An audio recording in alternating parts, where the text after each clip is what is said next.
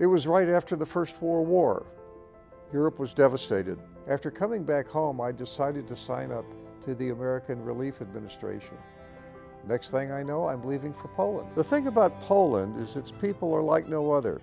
They never give up, they persevere. My great grandfather, John Cooper, fought in the Revolutionary War against the Brits under General Casimir Pulaski. He always told me stories of the brave and strong Pulaski who, with one strike of a sword, took down 20 men. When I got to Lviv, I saw young men, really boys in uniforms, representing their country on the battlefield.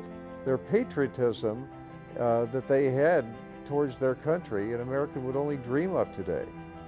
You see, they had nothing, no spot in the world map, no name for their country, not even the right to speak in their native language, yet they continued to fight. That's when I decided I want to be a part of such movement. A couple of boys and I decided we could help with some aircraft. Thanks to Major uh, Cedric Fauntleroy and Marshal Joseph Pilsudski, we created the 7th Kosciuszko Squadron. At first, we would be transporting messages to the soldiers on the front. Then in April of 1920, we finally started to fight on the front and well over the front. We threw bombs and had machine guns. Anything that you could imagine that could fit on the airplane, we, we had. With the Poles' perseverance in our flights, we were beginning to destroy those inhumane, uncontrollable, disgusting creatures of Marxism.